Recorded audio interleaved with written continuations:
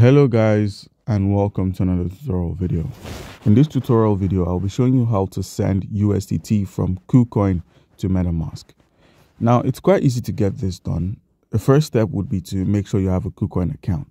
So click on kucoin and once you've opened up make sure you have an account. If you do not have an account on kucoin by using our link in the description of the video you stand a chance to claim 3200 usdt worth of welcome gifts and bonuses when you register and verify your account Alright guys, with all of that done, in order to send your USDT out, head to the assets menu where it's being stored, scroll from the overview to your funding or your trading accounts, and once you found the USDT on either of them, simply click on the withdraw option. So click on withdrawal, and then once you selected withdrawal, simply scroll through and select USDT. With USDT selected, where we have wallet address, network, and withdrawal amount. Now, these are all the criteria that need to be filled before you can send out. And now make sure you're sending your USDT or any other cryptocurrency in the lowest network. I believe that's the best way to send it out, but you could select specific networks of your choice. All right, guys, with that said, in order to get the wallet address, that's the USDT, it depends on the, net, on the network you're working with. So let's click on the network and then find the fees that are attached to these networks.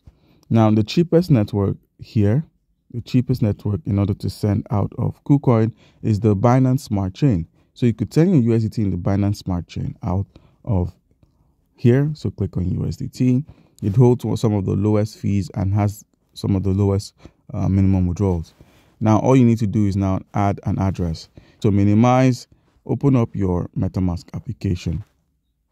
And once MetaMask is opened up, where we have the optimism drop down at the top of the screen, Click on this to change your network. Select the BNB Smart Chain. If you can't find the BNB Smart Chain, click on Add Network and you'd find it in the list of popular networks. Otherwise, you're going to have to add it custom uh, through the custom networks option via the RPC chain ID, symbol, and Explorer URL. All right, so select the BNB Smart Chain.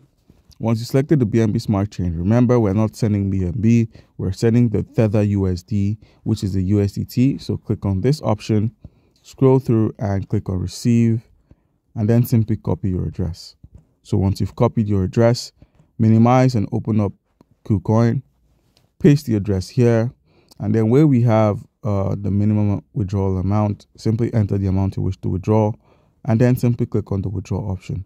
By doing this, you've successfully withdrawn your tokens from KuCoin over to your MetaMask account. So guys, do comment down below if you have a question concerning how we can go about any of this, and you'll be given an answer.